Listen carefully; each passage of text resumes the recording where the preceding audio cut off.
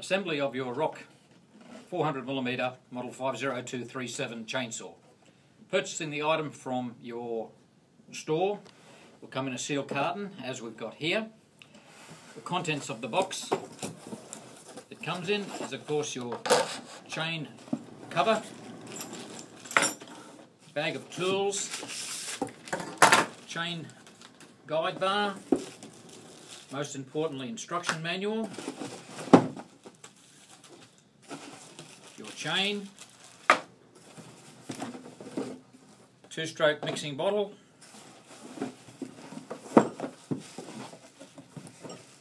the drive unit, and the spike plate. Before attempting to assemble the bar, remove and safely discard the plastic packaging. Engage the safety brake mechanism, is by pulling that lever to, towards the back of the machine and removing the outer chain cover. With your T socket wrench, remove the outer bar and chain cover.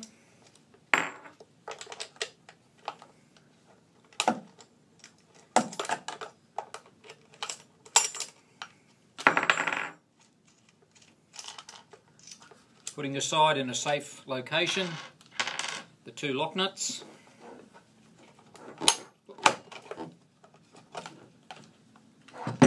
Cover comes comes off and also this plastic plate, which is a packing piece only and needs to be and needs to be totally discarded. Do not use it at all.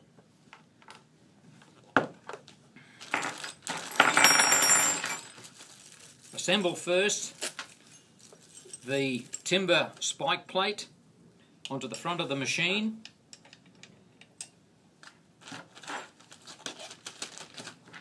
Your Allen key wrench, hex key wrench,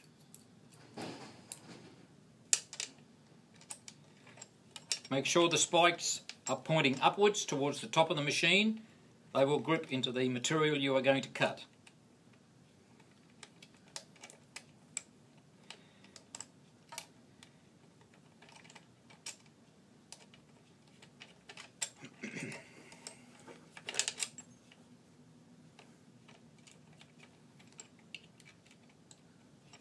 The two-stroke mixture for the chainsaw is unleaded petrol with a mix of uh, two-stroke oil of 25 to 1.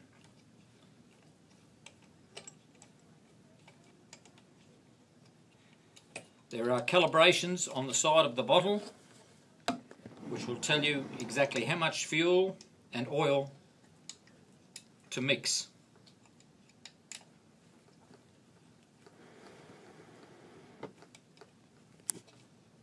Do the spike plate up reasonably tight, don't over tighten. It's quite sufficient.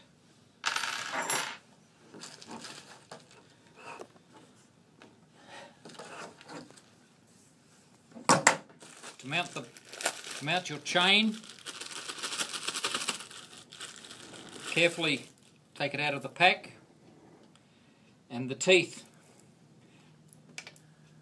of the chain just slides behind the sprocket clutch cup and the teeth on the top run will face away from you from the from the from the machine and run towards the machine on the lower part of the guide. Mount the guide bar.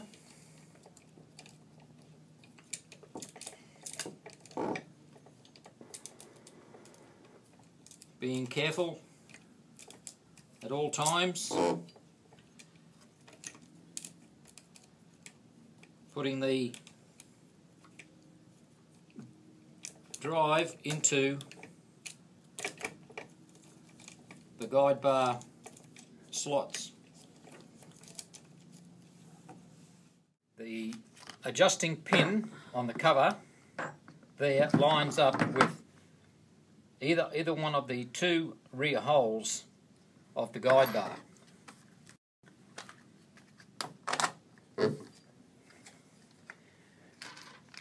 Putting the cover on,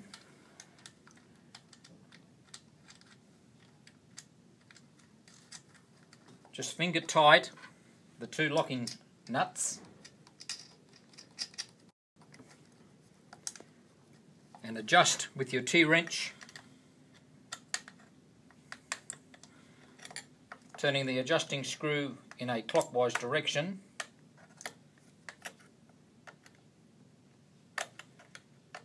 which will take the slack out of the chain on the guide bar.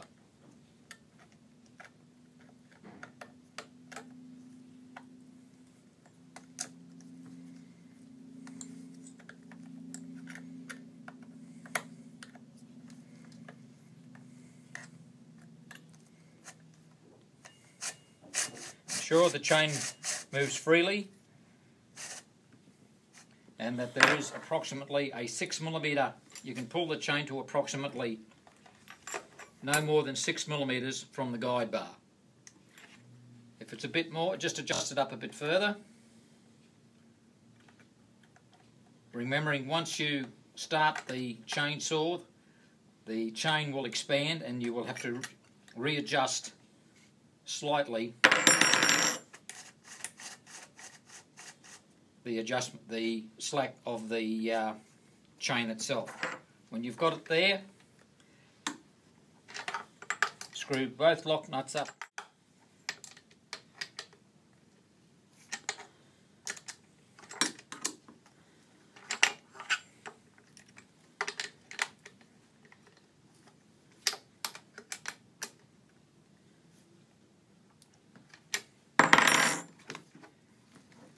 You're now ready to fuel the chainsaw. In the front reservoir here goes your chain oil, which is approximately a 15 grade to a 20 grade oil. Fill that to the top. Finger tight the cap, don't over tighten it. Your two stroke fuel, already mixed, goes into the rear tank. Again, when you put the cap back on, finger tight, don't over tighten it, you'll possibly expand the O-ring causing it to leak.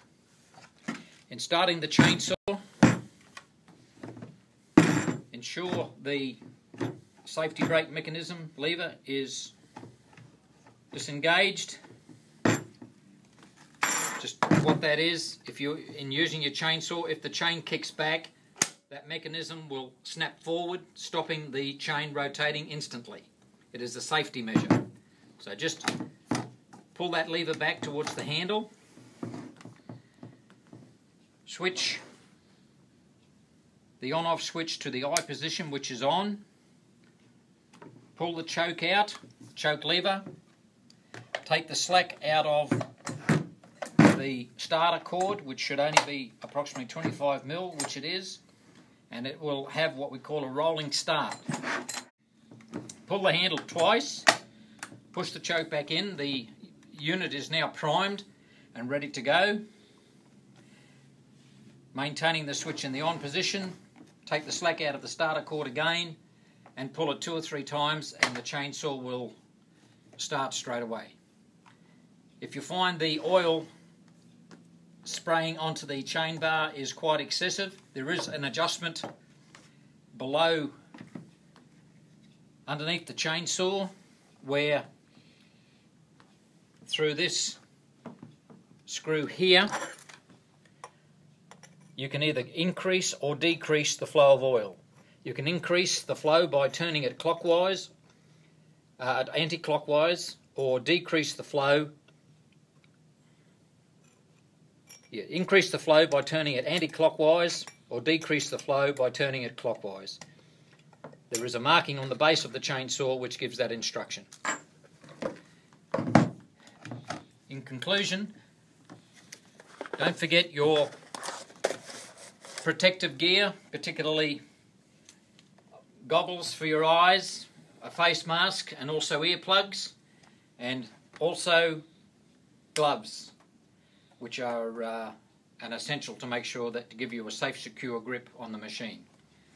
After you've finished using it, empty the oil and fuel out of the machine with your safety cover. Insert that onto the guard. Ensure the brake is engaged by pushing that lever forward. You can now store your product safely away until using it next time.